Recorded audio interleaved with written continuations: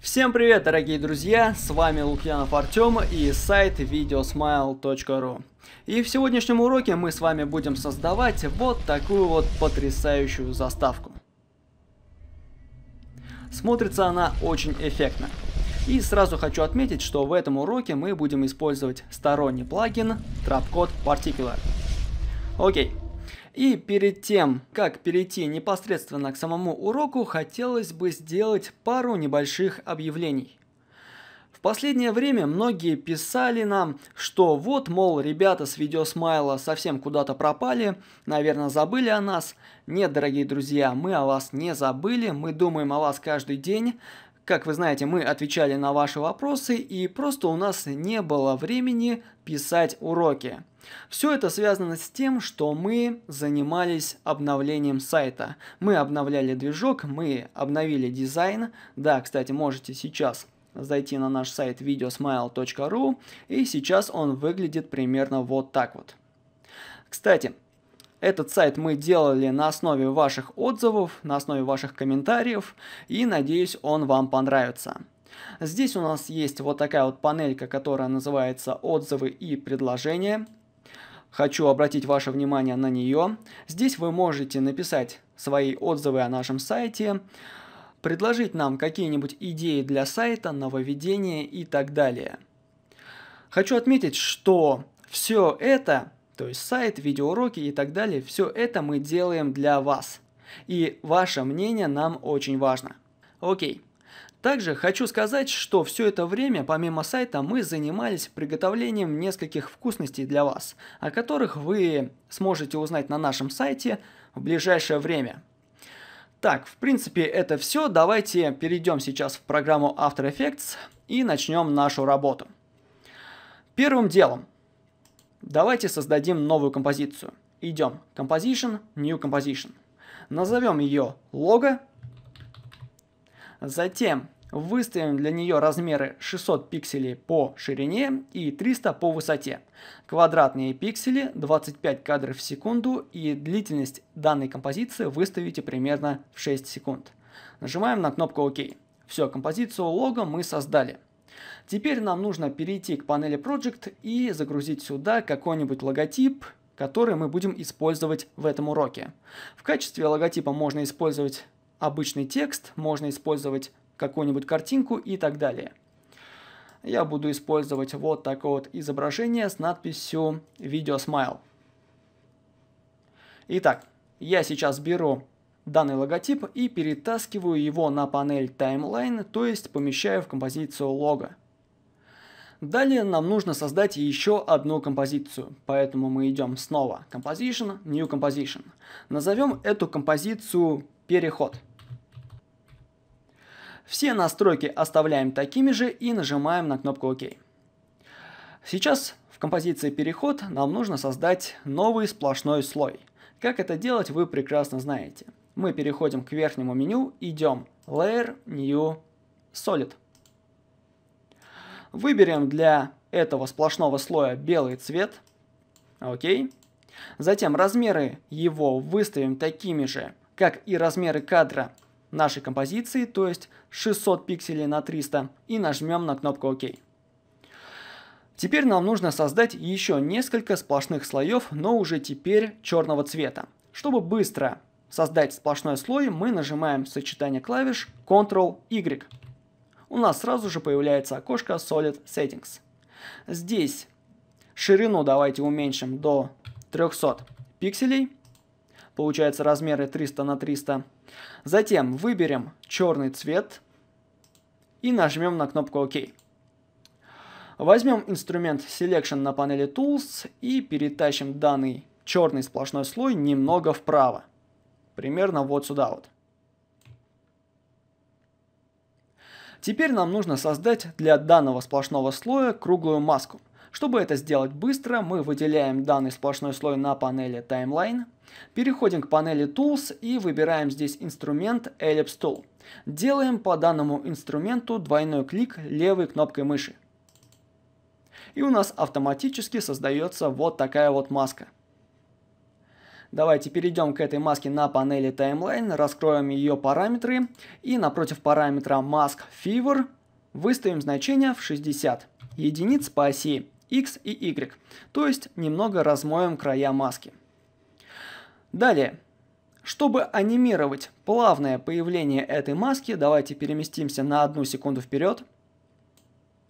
Перейдем к параметру Mask Expansion и кликнем по значку секундомером слева от данного параметра.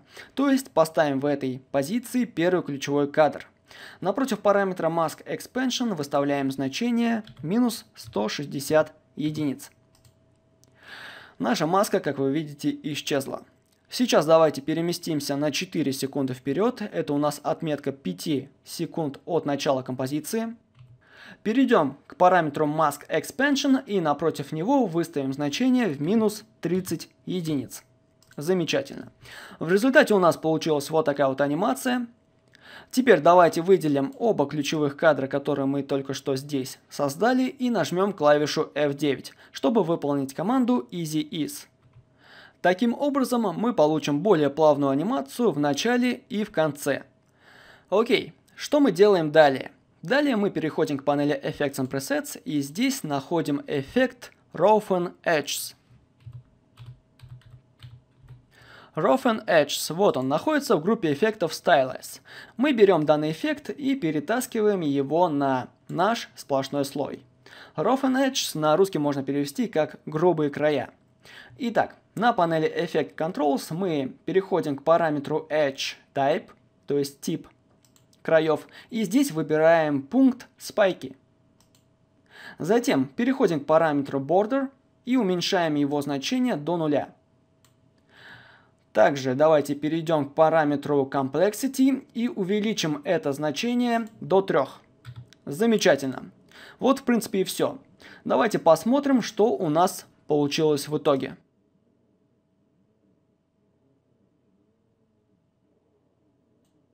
А получилась у нас вот такая вот черная дыра, вот с такими вот грубыми краями. Итак, что мы делаем далее? Далее давайте закроем параметры этого сплошного слоя на панели Timeline, выделим его здесь и нажмем сочетание клавиш Ctrl-D, чтобы создать его дубликат. Выделим слой дубликат на панели Timeline и нажмем клавишу с английской буквой S, чтобы открыть параметр Scale. Scale – это масштаб. Увеличим масштаб этого слоя до 150% по оси X и Y. Теперь берем слой дубликат и перемещаем его примерно вот сюда вот. Супер. Итак, снова выделяем верхний слой и нажимаем сочетание клавиш Ctrl-D. То есть создаем еще один слой дубликат. Берем данный слой на панели Composition и перемещаем его примерно вот сюда вот. Выделяем верхний слой, опять же Ctrl-D, нажимаем клавишу S, чтобы открыть параметр Scale, и в этом случае увеличиваем значение данного параметра до 200% или до 200. Не помню как точно. Так, мы создали еще один дубликат, этот слой мы перемещаем примерно вот сюда вот. Теперь снова создаем дубликат, это будет последний слой, его мы перемещаем вот сюда вот. Вот, в принципе, и все. Давайте посмотрим, что у нас получилось в итоге.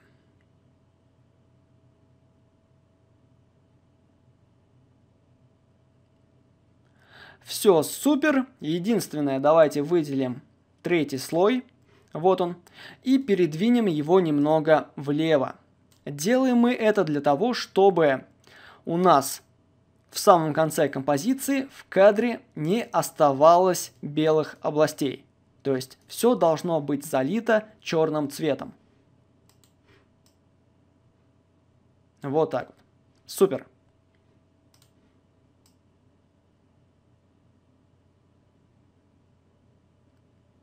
Сразу хочу отметить, что эту композицию мы будем использовать как маску для нашего логотипа. Так, здесь мы в принципе закончили, теперь давайте создадим главную композицию. Идем. Composition, New Composition. Назовем эту композицию главная. Затем выберем preset, пускай будет HDV, HDTV 720, 25 кадров в секунду.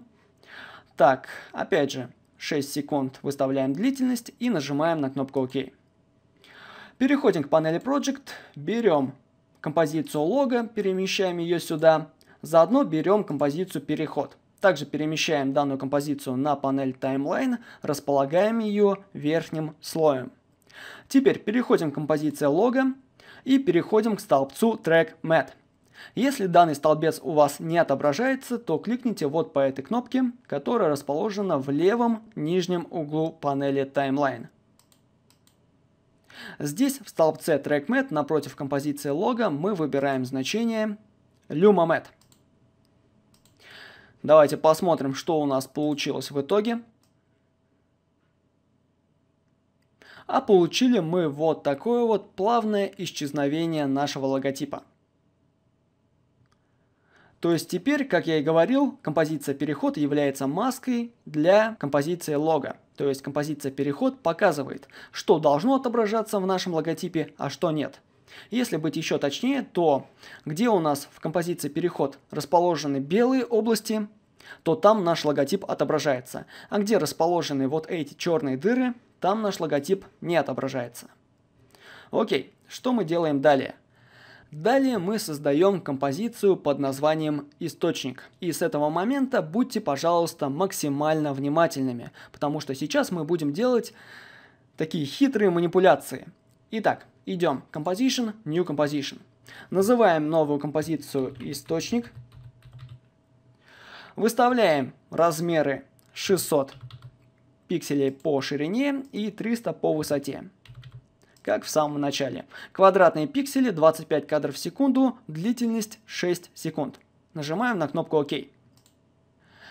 Теперь переходим к панели Project, берем композицию лога и перетаскиваем ее на панель Timeline. То есть загружаем данную композицию в композицию источник. Теперь снова возвращаемся к панели Project, выделяем здесь композицию переход, и нажимаем сочетание клавиш Ctrl-D, чтобы создать ее дубликат. Композицию дубликат, которая называется переход 2, мы также перетаскиваем на панель Timeline и размещаем в композиции источник. Теперь перейдем к композиции лога, перейдем к столбцу TrackMat и здесь также выставим значение LumaMat.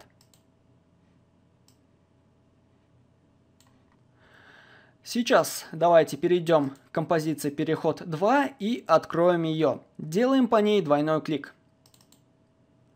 Здесь переходим к верхнему меню, идем Layer, New, Adjustment Layer, то есть создаем новый корректирующий слой.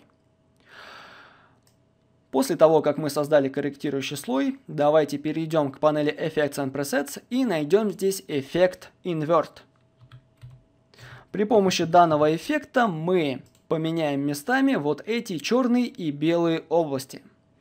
Берем данный эффект, перетаскиваем его на корректирующий слой. И все настройки данного эффекта оставляем по умолчанию. Как вы видите, теперь вот эти черные дыры у нас окрасились в белый цвет. А вот эти белые области стали черными. Замечательно. Теперь давайте вернемся к панели Project. Выделим здесь композицию «Переход» и снова нажмем сочетание клавиш Ctrl-D. То есть создадим еще одну композицию дубликат. Она у нас будет называться «Переход 3». Берем эту композицию и перетаскиваем на панель Timeline. Располагаем верхним слоем. Так, теперь давайте откроем композицию «Переход 3». И в ней отключим, ну или удалим нижний слой я его просто отключаю. Закрываем композицию переход 3. Переходим к композиции переход 2. И здесь давайте в панели Timeline увеличим масштаб. Чтобы у нас был виден каждый отдельный кадр. Переместимся в самое начало. Возьмем верхний слой, это композиция переход 3, и переместим его на 3 кадра вперед. Раз, два, три. Супер. Вот, в принципе, и все. давайте закроем композицию переход 2 и посмотрим, что у нас получилось в композиции источник. А получилась у нас вот такая вот картина. У нас сначала логотип появляется, а затем он сразу же исчезает. Для чего мы создали эту композицию? Данная композиция у нас будет источником для испускания частиц. Вот так вот. Итак, давайте я закрою композицию источник. Перейду к композиции главная. Перейду к панели Project, возьму здесь композицию источник, над которой мы только что работали, и перетащу ее на панель Timeline. Расположу ее верхним слоем. После того, как я переместил данную композицию сюда, я сразу же ее отключаю, чтобы она у нас не отображалась в кадре. Давайте я кликну вот по этой кнопке, чтобы подключить стандартный черный фон. Теперь давайте сразу же переведем все три этих слоя в 3D. А заодно привяжем композицию источник и переход к композиции лога. Как это делается? Мы переходим к столбцу Parent. Если он у вас не отображается, то кликните здесь правой кнопкой мыши, Columns, и в всплывающем меню выберите пункт Parent. Мы перешли к этому столбцу, берем вот это лассо и тянем его до композиции лога. Теперь композиция источник зависима от композиции лога. То же самое делаем мы с композицией переход. Отлично. Теперь, если мы будем перемещать наш логотип, эти две композиции будут следовать за ней. Итак, с первой частью уроков мы закончили, и сейчас мы перейдем к созданию частиц. Но прежде давайте перейдем к панели Project, перейдем вот к этой надписи 8 BPC и увеличим глубину цветового канала. Для этого зажимаем клавишу Alt и кликаем вот по этой надписи. Увеличиваем это значение до 32. Замечательно. Теперь, прежде чем заняться частицами, нам нужно создать новый сплошной слой. Поэтому мы идем Layer, New, секундочку, давайте выделим сначала панель Timeline. Теперь пойдем Layer, New, Solid. Назовем его частицы Выставим размеры этого слоя такими же, как и размеры кадра композиции главная, то есть 1280 на 720.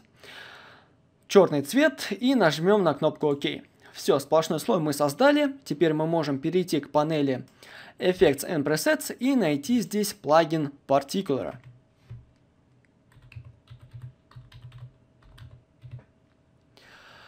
Вот он, плагин Particular находится в группе плагинов Trapcode. Берем его и перетаскиваем на наш сплошной слой.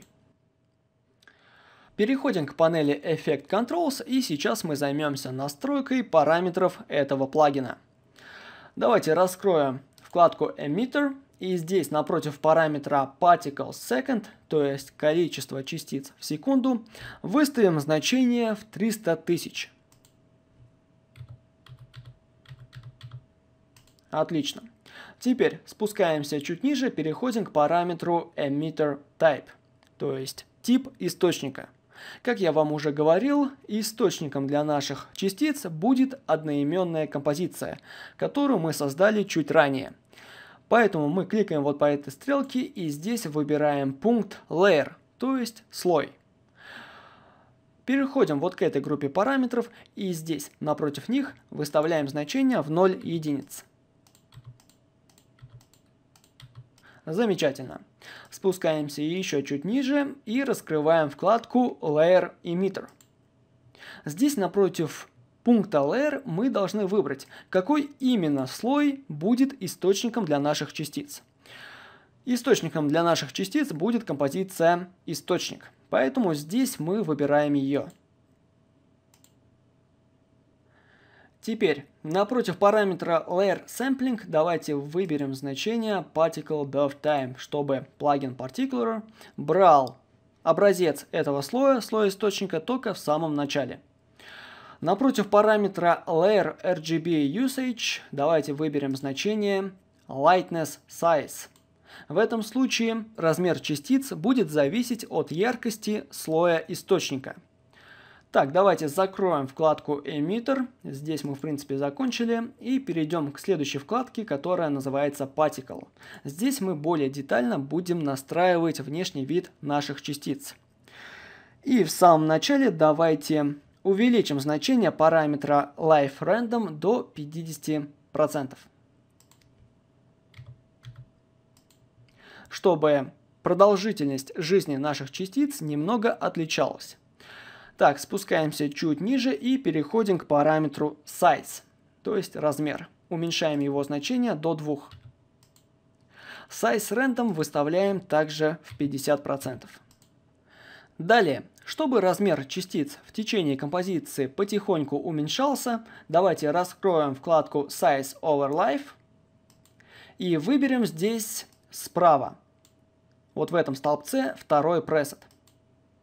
В этом случае от рождения частиц до их условной смерти их размер будет потихоньку линейно уменьшаться. Такой же пресет давайте выберем и во вкладке Opacity over Life. Раскрываем эту вкладку и выбираем здесь второй пресет. В этом случае от самого рождения до смерти непрозрачность наших частиц также будет уменьшаться до нуля. Супер. Идем дальше. Переходим к параметру setColor и здесь выбираем пункт overLife. Теперь, чтобы настроить цвет наших частиц, давайте раскроем вкладку Color overLife. Здесь мы должны выбрать, как будет изменяться цвет наших частиц в течение композиции. Итак, давайте перейдем к первому маркеру, сделаем по нему двойной клик левой кнопкой мыши, чтобы у нас открылось окошко Select Color. Здесь выберем бледно-оранжевый цвет. Примерно вот такой вот. Нажимаем на кнопку ОК. И первый цвет мы выставили. Теперь давайте возьмем второй маркер и переместим его немного вправо. Вот сюда вот. Также сделаем по нему двойной клик левой кнопкой мыши. И выберем для него темно-серый цвет. Вот так вот. Нажимаем ОК. И второй цвет мы выставили. Так, берем третий маркер и перемещаем его примерно вот сюда вот. Опять же делаем по нему двойной клик левой кнопкой мыши и для него выбираем также серый цвет, но уже потемнее. Отлично. Идем далее. Берем уже четвертый маркер, перемещаем его вот сюда вот. Делаем по нему двойной клик левой кнопкой мыши. И здесь мы выбираем красный цвет. Окей. И последний маркер Здесь мы также выбираем серый цвет. Все, нажимаем ОК и в принципе наш диапазон готов. Хотя нет, давайте возьмем последний маркер и переместим его примерно вот сюда вот. Вот теперь вот все супер. Давайте закроем вкладку Color Over Life и пойдем далее. Закроем вкладку Particle и как вы помните, здесь во вкладке Emitter мы напротив параметров, которые отвечают за настройку скорости, везде выставили значение 0. То есть сейчас наши частицы не перемещаются. Чтобы сделать так, чтобы они перемещались, давайте раскроем вкладку Physics. И здесь напротив параметра Gravity, то есть гравитация, выставим значение в минус 100 единиц. Таким образом, наши частицы будут подниматься вверх.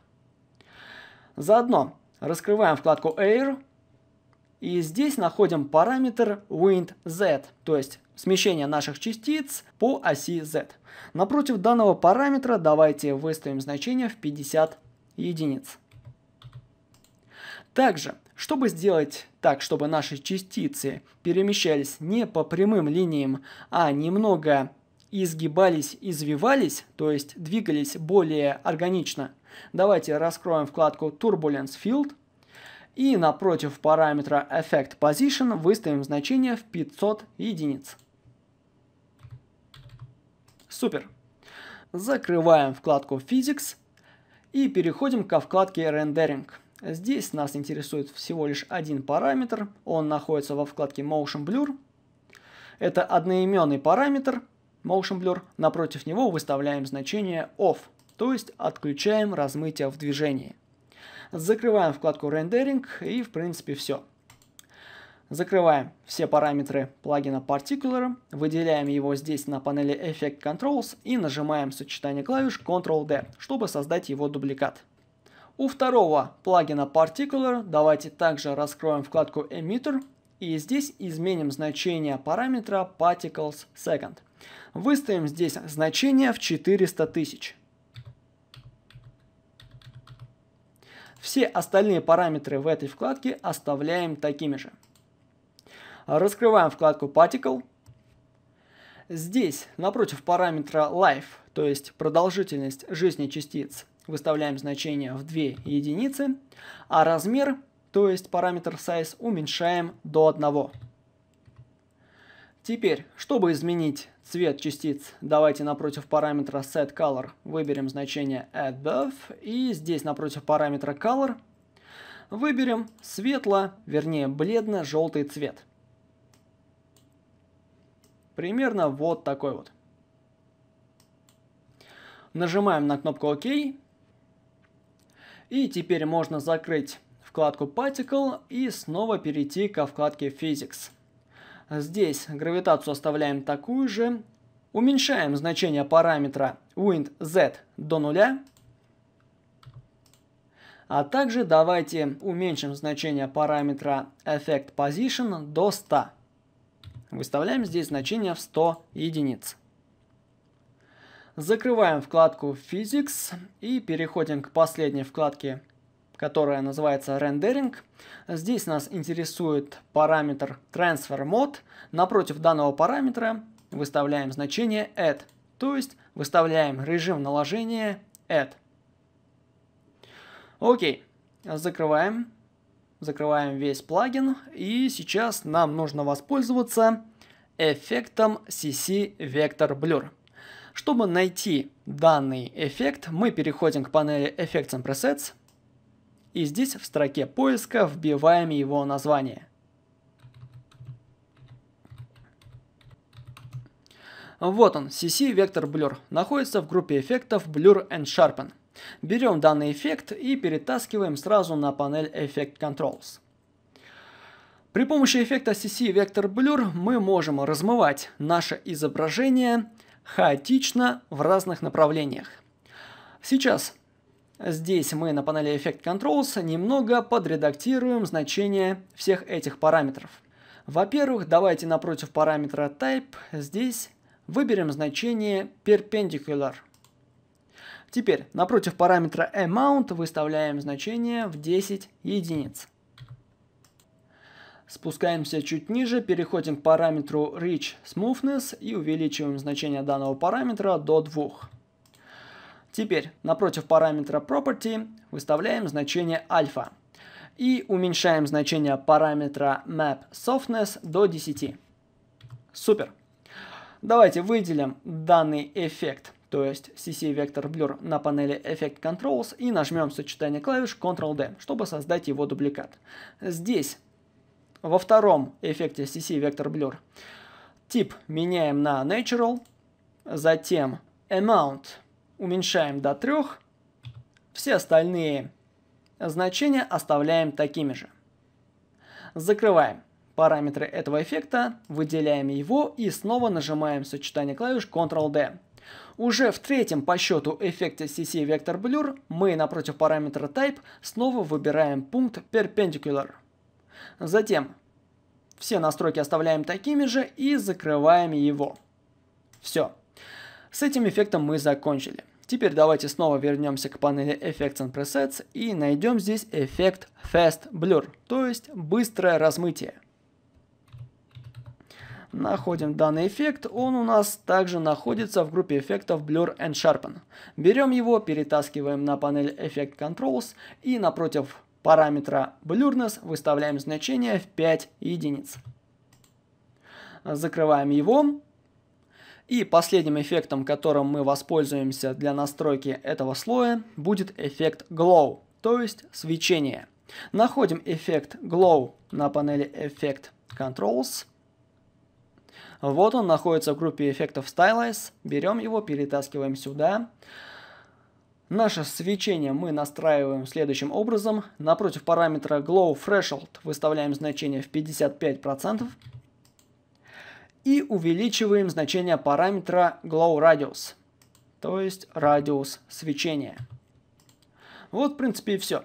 Закрываем параметры данного эффекта и давайте посмотрим, что у нас получилось. В принципе, смотрится все очень даже неплохо. Так, кстати, я вам совсем забыл сказать, что после того, как мы в плагине Particular выбрали источником для наших частиц вот эту композицию, то здесь на панели Timeline автоматически создался слой Layer Emit. Этот слой автоматически, как я уже сказал, создается плагином Particular, и на него не стоит обращать никакого внимания, потому что он никоим образом не сказывается на этой картинке. Итак, идем далее. Далее давайте выделим слой с частицами и нажмем сочетание клавиш Ctrl-D, то есть создадим его дубликат. Слой дубликат давайте переместим наверх, вот таким вот образом. Перейдем к панели Effect Controls и у слоя дубликата удалим эффект Fast Blur. Выделяем его здесь и нажимаем клавишу Delete. Вот в принципе и все. Теперь выделяем верхний слой с частицами и снова нажимаем сочетание клавиш Ctrl-D. Создаем еще один слой дубликат. У нового слоя с частицами сразу же давайте изменим режим наложения. Переходим к столбцу мод. Если данный столбец у вас не отображается, то кликните вот по этой кнопке. И здесь, напротив верхнего слоя, выбираем режим наложения Add. Отлично, теперь давайте перейдем к панели Effect Controls и здесь удалим второй плагин Particular. Верхний оставляем. Заодно удаляем все три эффекта CC Vector Blur. Delete. То есть у нас в итоге остался Particular и Glow. Сейчас давайте перейдем к плагину Particular, раскроем вкладку Emitter. И здесь напротив параметра particle second выставим значение в 130 тысяч. Так, здесь в принципе все. Закрываем вкладку Emitter. Переходим ко вкладке Physics. И здесь давайте уменьшим значение параметра Effect Position до 200 единиц. Супер.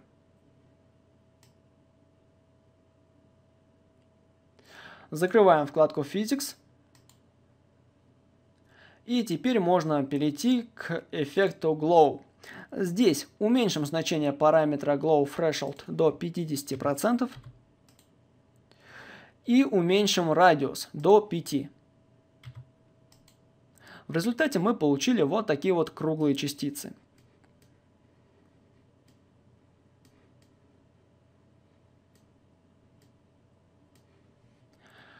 Итак, что мы делаем далее?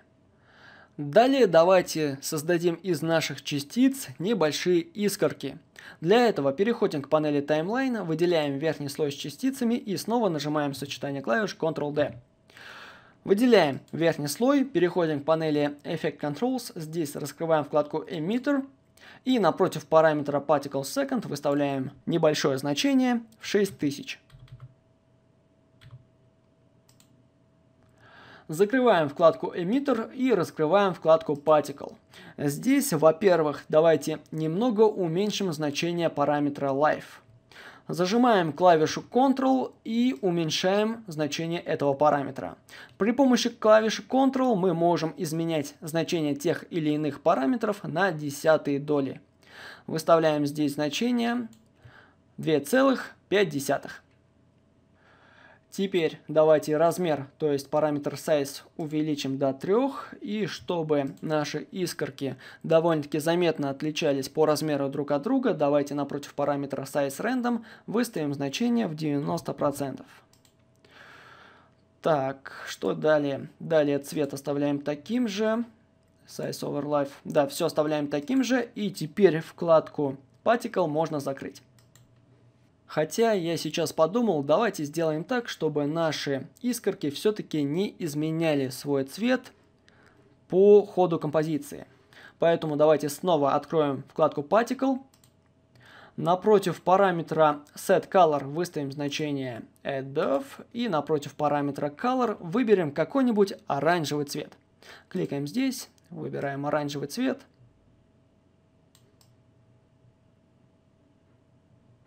Примерно вот такой вот и нажимаем на кнопку ОК. Так наша композиция, я так думаю, будет смотреться лучше. Все, теперь можно вкладку Particle закрыть и перейти ко вкладке Physics. Сейчас давайте сделаем так, чтобы наши искорки немного улетали в сторону по оси X. Переходим к параметру WindX и здесь выставляем значение в минус 100.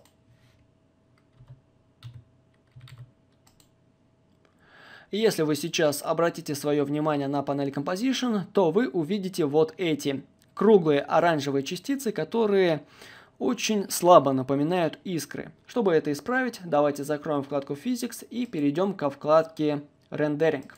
Здесь переходим во вкладку Motion Blur и напротив параметра Motion Blur выставляем значение On, то есть подключаем размытие в движении.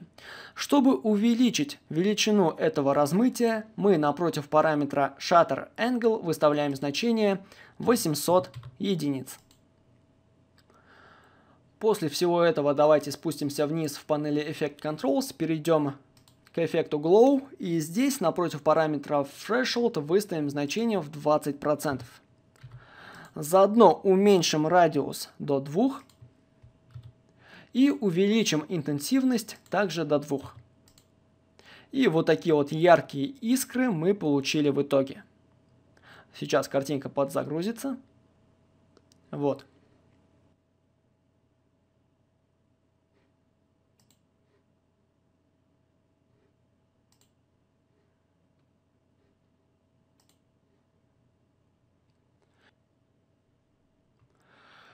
Здесь, так как наша композиция содержит в себе огромное количество частиц, она очень сильно нагружает компьютер, поэтому просчет картинки идет так долго.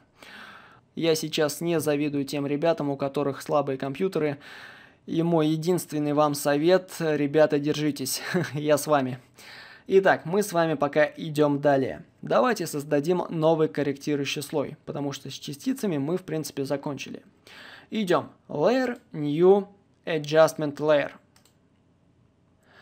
После того, как мы создали новый корректирующий слой, он у нас сразу же появляется на панели Timeline. Сейчас давайте перейдем к панели Effects Controls, вернее Effects and Presets, извините, и найдем здесь эффект Fast Blur, которым мы сегодня уже пользовались.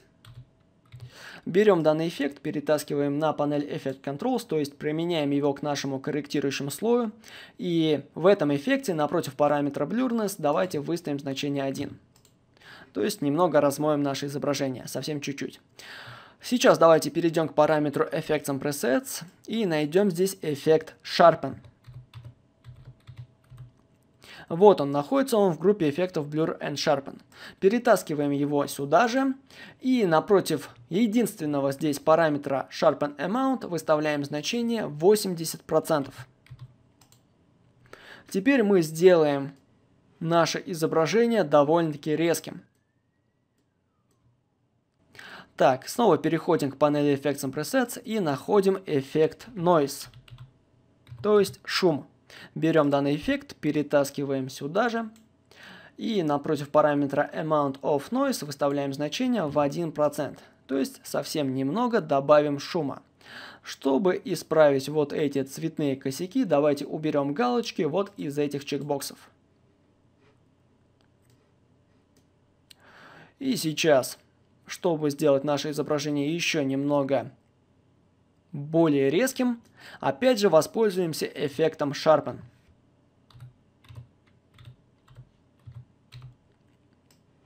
Перетаскиваем сюда и теперь напротив параметра Sharpen Amount выставляем значение в 15%. 15 единиц. Итак, вот в принципе такая картинка смотрится уже намного лучше. Вы здесь могли заметить, что у нас в изображении появились вот такие вот артефакты – Чтобы от них избавиться, давайте создадим новый сплошной слой. Идем Layer, New, Solid. Выбираем здесь черный цвет, размеры такие же, как и размеры кадра нашей композиции, ОК. Перемещаем этот сплошной слой под корректирующий слой, то есть размещаем его на второй позиции. И напротив этого сплошного слоя в столбце мод выбираем режим наложения Screen. Теперь этих артефактов здесь не будет. И все будет отображаться корректно. Вот, в принципе, и все. А, можно сказать, что наша композиция, наша анимация готова. Но, как вы видите, кадр, в котором находится всего лишь одна надпись, один логотип, смотрится довольно-таки пусто и скучно. Давайте это исправим. Давайте создадим еще один сплошной слой. Идем Layer, New, Solid. Опять же, черный цвет, окей. И сейчас мы к этому сплошному слою применим блик. Блик мы будем создавать при помощи стороннего плагина Optical Flares. Напоминаю вам, что этот шаг не обязателен, поэтому у кого нет плагина Optical Flares, можете вообще не напрягаться. Переходим к панели Effects and Presets и находим здесь эффект, вернее плагин Optical Flares. Это плагин от сайта Video Copilot. Берем его, перетаскиваем на наш сплошной слой, который мы только что создали. У нас в кадре сразу же появляется вот такой вот стандартный блик, мы сейчас переходим к панели Effect Controls и здесь кликаем по кнопке, вернее по надписи Options. У нас открывается окошко Optical Flares Options. Здесь давайте воспользуемся готовым пресетом из папки Pro Presets. Открываем эту папку.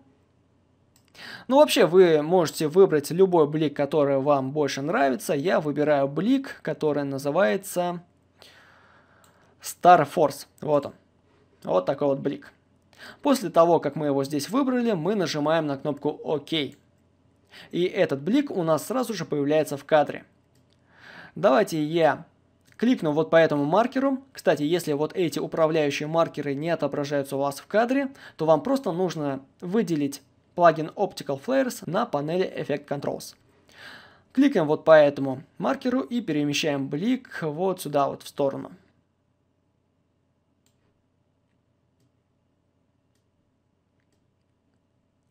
Чтобы наша композиция особо не тормозила, давайте перейдем к этому сплошному слою и поставим для него режим соло.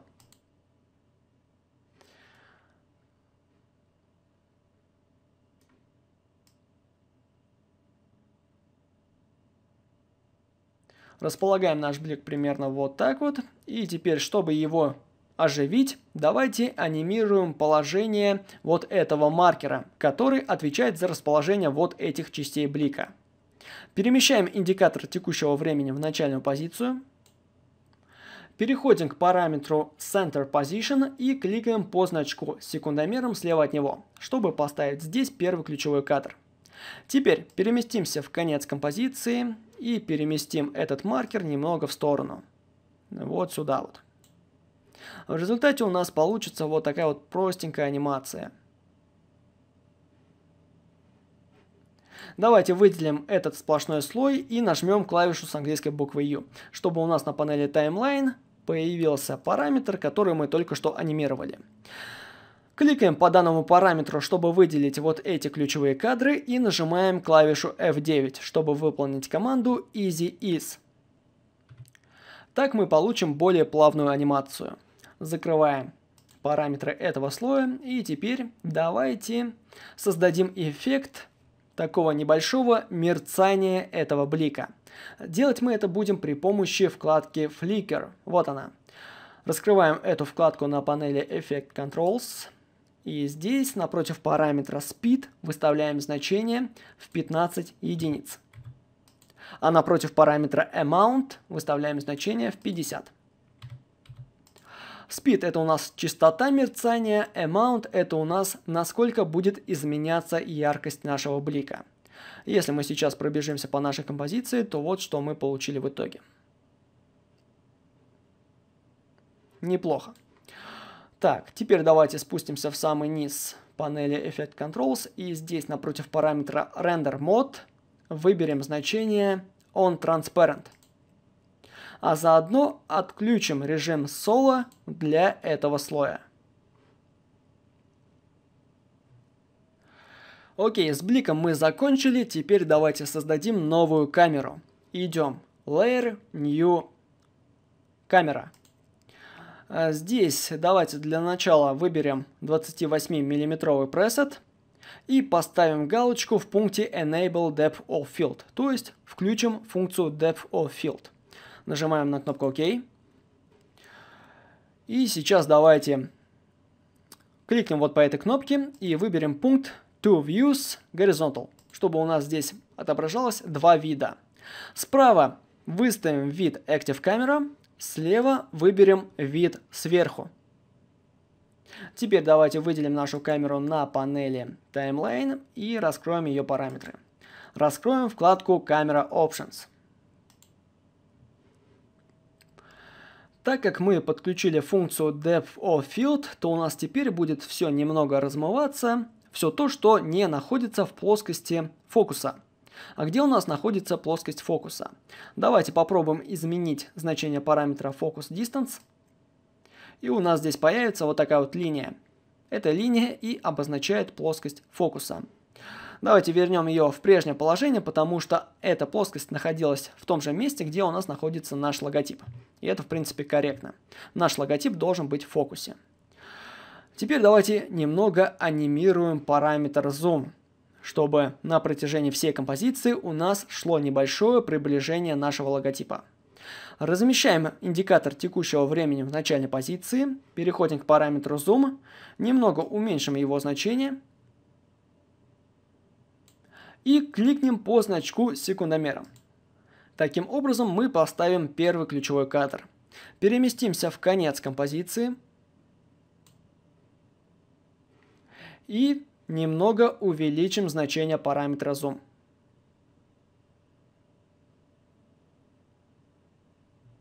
Пускай будет вот так вот.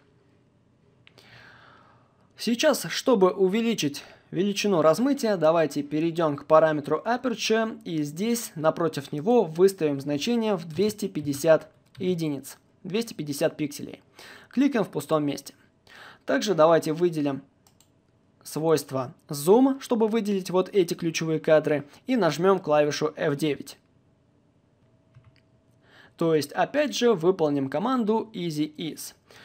Все, с камерой мы закончили, давайте закроем ее параметры, отключим два вида, выберем здесь пункт 1 View, One View,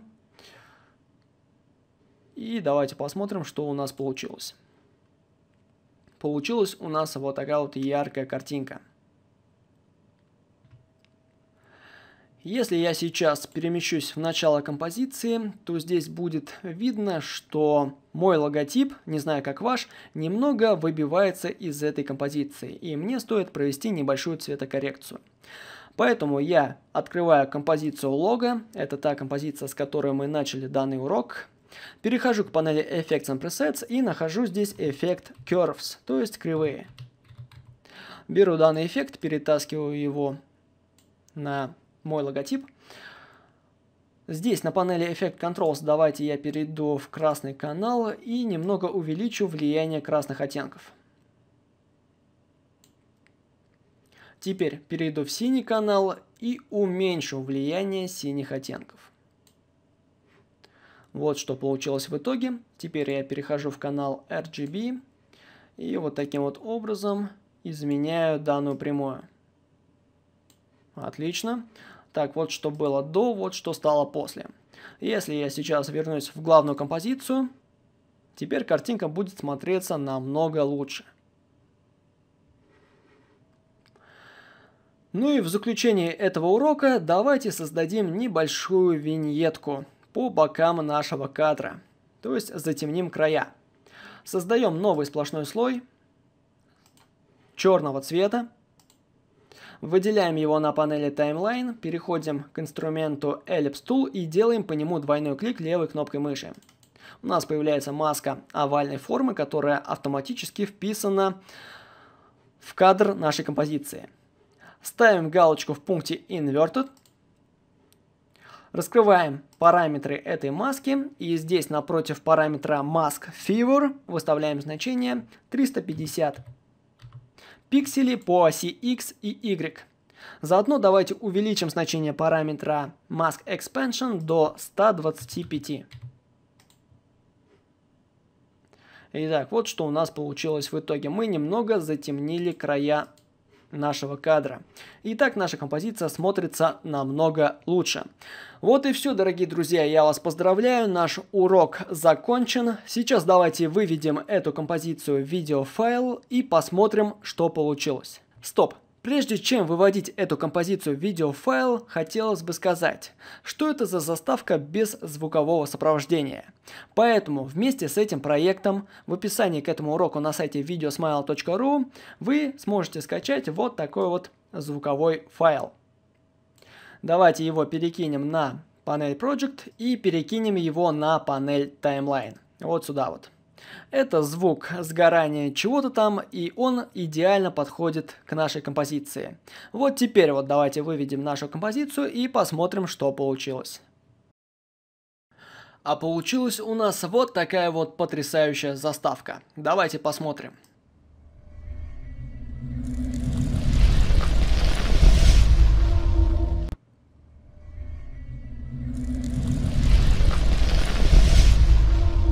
Очень круто. На этом все. С вами был Лукьянов Артем. Заходите на наш сайт videosmile.ru. Мы всегда вам рады. Все. Всем удачи. Всем пока.